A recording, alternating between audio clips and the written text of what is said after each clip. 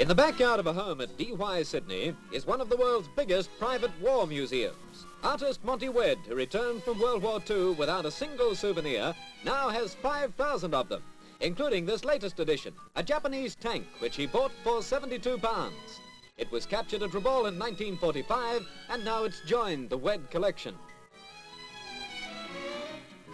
Inside the artist's studio, there are more relics, souvenirs of many wars, including a blunderbuss made in about 1770.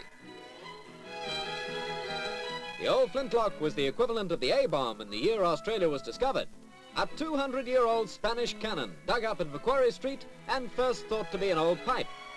And here are relics of the convict days, including a cat o' nine tails. Monty Wedd, a Sydney artist with a most unusual hobby.